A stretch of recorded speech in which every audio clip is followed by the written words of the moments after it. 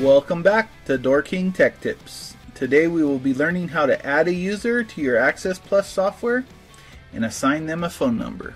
Let's get started with our software open and our account created. Expand your account folder on the left by clicking the plus sign next to your account name.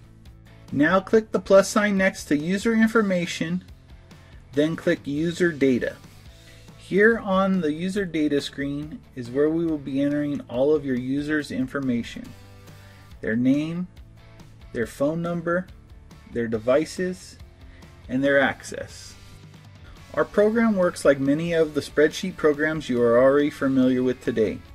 To add or edit any of the cells, all you need to do is click on what you want to edit. So to add a new name, we are going to click on the blank box under name and start typing. To add a phone number, we must use a directory code. Directory codes 1 through 23 require additional equipment for a no phone bill system. The directory codes we will be using are 24 through 50 for dial out numbers. The directory code is what the visitor will dial on the keypad to call the resident phone number. For this example, we will use the first dial out directory 24. Now to add the phone number. The phone number cell can hold up to 20 digits. You can also program pauses by using a comma for a 2 second delay.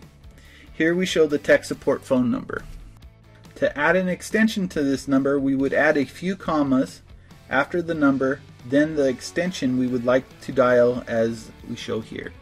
Congratulations, you have now successfully added a user and phone number to your Access Plus software. All that's left now is to transfer the data to the system, and we'll see you next time for more DoorKing Tech Tips.